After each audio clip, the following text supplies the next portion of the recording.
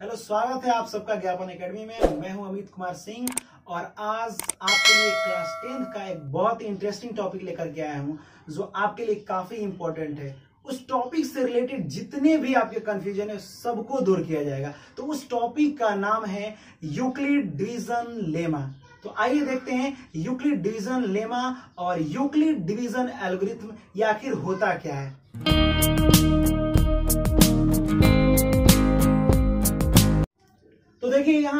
Euclid division lemma आखिर ये होता क्या है?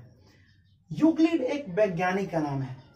इन्होंने डिवीज़न को लेकर के, यानी डिवीज़न का उपयोग करके एक प्रूवन स्टेटमेंट दिया है, यानी कि प्रमाणित कथन दिया है। उस प्रमाणित कथन को समझिए तो एक प्रकार का फॉर्मूला दिया है। और उस फॉर्मूले को ही हम लोग लेमा कहते हैं। यानी वो फॉर्मूला आखिर है क्या वो स्टेटमेंट आखिर है क्या? वो हम लोग देखते हैं। उन्होंने दिया है A equal to B Q plus R यहाँ सोच करके ज़्यादा कंफ्यूज नहीं होना है। ये जो इन्होंने स्टेटमेंट दिया, यानी लेमा इसको कहते हैं, इन्होंने जो स्टेटमेंट दिया, ये प्रूवन स्टेटमेंट है। इसमें आपको प्रूफ करने की कोई भी ज़रूरत नहीं है। इन्होंने प्रूफ करके खुद दे दिया और बोला है कि इसको हम कहेंगे लेमा। और उन्होंने क्या किया कि यहाँ ये जो आपका स्टेटमेंट दिया, ये बहुत पहले आप पढ़ चुके हैं। आपको शायद याद नहीं है, अगर याद भी होगा तो बहुत पहले टीचर आपको डिवाइड पढ़ाए होंगे। जिसको कहते हैं भाग। और भाग पढ़ाते समय बोले होंगे कि शुद्धता की जाँच कैसे की जाती है?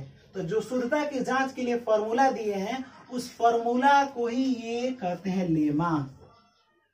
तो शायद आई होप कि आप लोगों को याद आ गया होगा। और यहाँ थोड़ा सा देख भी लेते हैं उसको। अगर यहाँ फाइव देखते हैं, और इसको कहते हैं, अगर टू से डिवाइड करें टू टू जा फोर हो जाएगा।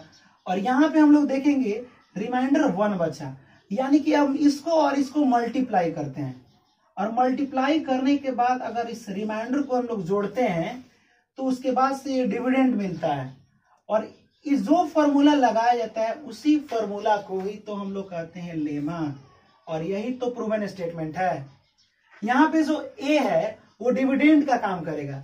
यहाँ पे जो बी है वो डिवाइजर का काम करेगा। और यहाँ पे जो Q है, वो कोसेंट का काम करेगा। और जो रिमाइंडर है, वो रिमाइंडर यानी शेष का काम करेगा। यहाँ देख सकते हैं यहाँ पे वन जो है रिमाइंडर है। अब इस प्रोसेस को यानी कि इसीलिए यहाँ पे डिवाइड को हम लोग इस तरीके से लिखे हैं। और ये हम लोग नहीं, ये यूक्लिड ने इसको डिवीज़न को, इसलिए ने डिवीज़न को जाँच करने के लिए इन्होंने ये स्टेटमेंट दिया है। अब एक चीज़ उन्होंने और कहा है। यहाँ ध्यान दीजिएगा। उन्होंने कहा है, ज़ीरो जो होता है, बड़ा और बराबर होता है, किससे? बी से सॉरी आर से। और आर बड़ा होता है, यानी कि बी आर से बड़ा होता है। ये स्टेटमेंट क्या कह रहा है? थोड़ा सा इस पर हम लोग ध्यान देंगे।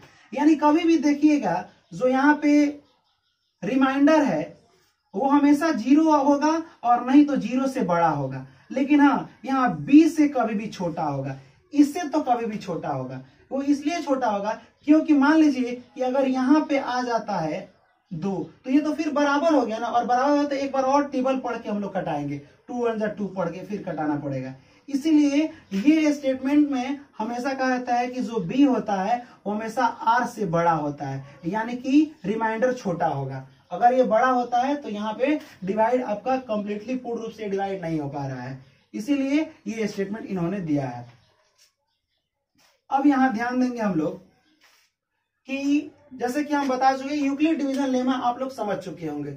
यानी कि ये एक प्रकार का प्रूवन स्टेटमेंट है, जो स्टेटमेंट आपको ये लिखा गया है, और इसका उपयोग करके बहुत सारे क्वेश्चन को सॉल्व किया जाता है। जैसे कि हम बोले कि दो एक इवेन नंबर है, और बोले कि दो सभी इवेन नंबर को डिवाइड करता है। तो ये एक मेरे अगर माने आप तो ये एक प्रकार का स्टेटमेंट हो गया। हम बोल दिए हैं कि दो सभी इवेन नंबर को डिवाइड कर सकता है। अब इवेन नंबर तो बहुत सारे होते हैं। दो भी होता है, चार भी होता है, छह भी होता है, आठ भी होता है। तो मैं एक सिर्फ़ स्टेटमेंट दे हूँ। अगर मैं स्टेटमेंट दे रहा हूँ और उसके ज़रिए आप बोल रहे हैं कि आठ भी तो डिवाइड हो जाएगा टेन भी तो हो जाएगा। तो वो स्टेटमेंट के ज़रिए ही हो रहा है। वैसे ही ये स्टेटमेंट सिर्फ़ दिया गया है। इसके ज़रिए आप बहुत सारे क्वेश्चन बना सकते हैं।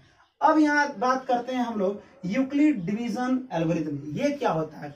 तो ये एक प्रकार का विधि है। यह विधि एससीएफ निकालने की ये विधि है।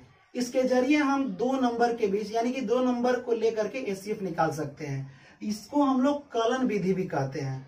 इसका उपयोग कैसे होता है? तो यूक्लिड ने अपने लेमा का उपयोग करके एस निकाला है। और जितने भी प्रोसेस एस निकालने में लगा है, उस सारे प्रोसेस को दो दो लाइन लगाओ, तीन, चार, जितना भी लगा है, उस सारे प्रोसेस को हम लोग कहते हैं एल्गोरिथम आइए एक हम लोग एस यूक्लिड के दिया हुआ स्टेटमेंट के ज़रिए निकालते हैं कि वो कैसे बनता है।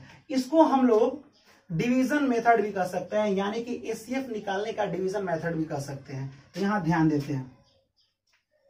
अगर हमको यहाँ निकालना होगा सिक्स और फोर्टीन इन दोनों का एसीएफ निकालना होगा कि सिक्स और फोर्टीन का एसीएफ कितना होता है? तो कैसे निकालेंगे?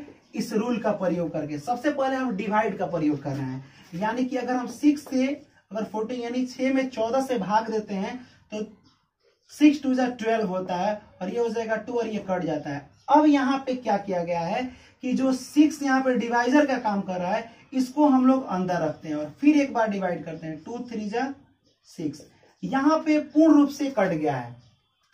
जैसे ही हमारा रिमाइंडर ज़ीरो हो जाता है तो जो कोसेंट बचता है, वही कोसेंट हमारा आंसर हो जाता है, यानी कि एससीएफ हो जाता है। यानी सिक्स और फोर्टीन का एससीएफ हो जाएगा टू अब ये जो डिवाइड है, इसको हम इस प्रोसेस में लिखेंगे। जो भी जैसे ही हम बता, जैसे कि हम पीछे बता चुके हैं, वैसे ही इसको सेम इस पर सजाना है। देखिए हम सजाते कैसे हैं। ए था यहाँ पे डिविडेंड यानी कि 14 हम लिख देते हैं।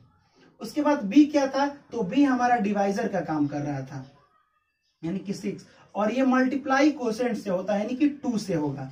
और रिमाइंडर इसमें आया था टू अब इस प्रोसेस को तब तक हम लोग दोहराते रहेंगे जब तक कि नीचे ज़ीरो नहीं आ जाता है। जैसे ही नीचे यानी कि रिमाइंडर में ज़ीरो आ जाएगा तो उसका क्वेश्चन जो होता है वही एस हो जाता है। उसी डिवाइड का क्वेश्चन जो होता है, वही एस कहलाता है। अब एक और प्रोसेस है, उसके बाद से यहाँ पे डिवाइजर का काम अब रिमाइंडर कर रहा है। इसका रिमाइंडर सेकेंड डिवाइड जो हुआ है, उसका सॉरी डिवाइजर का काम कर रहा है। अब यहाँ पे हम इसका डिवाइजर बनाएँगे और डिवाइड करने के बाद हमारा क्वेश्चन थ्री मिला है और उसके बाद से रिमाइंडर हमारा ज़ीरो हो गया है। अब यहाँ हम लोग देखें कि रिमाइंडर हो गया ज़ीरो तो इसका जो डिवाइजर होगा, वही इसका एस हो जाएगा। और यही मेथड होता है यूक्लिड डिवीज़न एल्गोरिथम तो आई होप कि ये वीडियो काफ़ी अच्छा से समझ में आया होगा। तो आज की इस वीडियो में बस इतना ही, और अगले वीडियो में फिर मिलेंगे अगले टॉपिक को लेकर। तब तक के लिए बाय बाय